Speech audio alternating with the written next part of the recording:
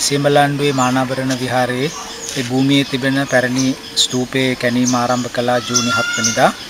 ඒ කැණීමේ මූලික අරමුණ උනේ මේ ස්තූපයේ සැලැස්ම අවබෝධ කර ගැනීම. ඒ වගේම එම ධාතු ගර්භය ස්තූපයේ එහි ව්‍යුහය සහ ඉදිකිරීම අවදී මොනවද කියන කාරණා තේරුම් ගැනීම. අපි පළවෙනි ආදීරයේදී මේ ස්තූපයේ මළුව සහ එහි පේසාවන් සහ හැඩය අවබෝධ කර ගැනීමේ කැණීම් කටයුතු අවසන් කළා. දෙවෙනි අධීරයේදී අපි ධාතු ගර්භය විවෘත කළා. මේ ස්තූපය නිදන් හොරුන්ගේ අවධානයට ලක් නොවුණු ස්තූපයක් හැටියට අපිට අඳුන ගන්න පුළුවන්.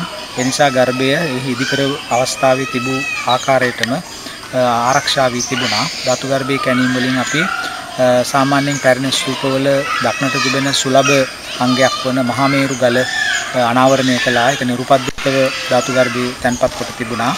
ඒ මහමෙරුගල මුදුනේ සර්වඥ ධාතු සහිත ලෝකඩ ධාතු කරඬුවක් ඇතුළු තවත් ධාතු කරඬුවක් සහ විදුරු වලින් කළ පබළු 50කට ආසන්න ප්‍රමාණයක් සොයා ගන්න පුළුවන් වුණා.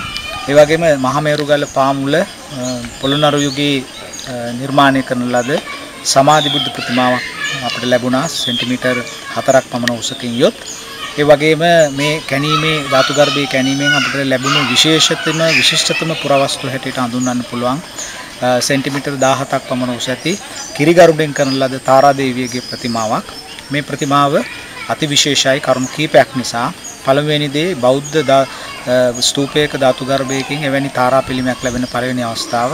ඒ වගේම කිරිගරුඩෙන් නිම කළ තාරා පිළිම දෙකයි ලැබිලා තියෙන්නේ. එකක් සිතුල්පව්වෙන් මේ දෙවැනි පිළිමය අපිට ලැබුණේ මේ ස්තූපයෙන්. ඒ නිසා ඒකත් තාම විශේෂ කාරණයක්. ඊයේ කැණීම් කටයුතු වලදී අපිට ලෝකඩින් කරන ලද අඩි එකහමාරක් පමණ උස ඇති පහනක් නිරුපද්‍රිතව ධාතු ගර්භයෙන් ඉවත් කරන්න පුළුවන්කම ලැබුණා. සමස්තයක් වශයෙන් කිව්වොත් ලංකාවේ පැරණි ස්තූප රාශියක් තිබෙනවා. ඒවා අතුරින් 99.5ක පමණ ප්‍රමාණයක් නිදන් හොරුන්ගේ විනාශ කිරීම වලට ලක් වෙලා තිබෙනවා. මේ ස්තූපය එසේ වී නැහැ.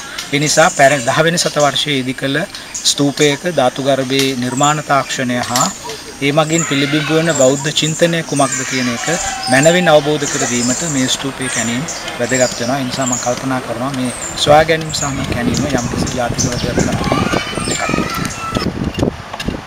කොටපු බිම ඉඳලා සාමාන්‍ය අඩි අඩි 12 15ක් විතර උසයි. ඒ කට අරන් කොටපු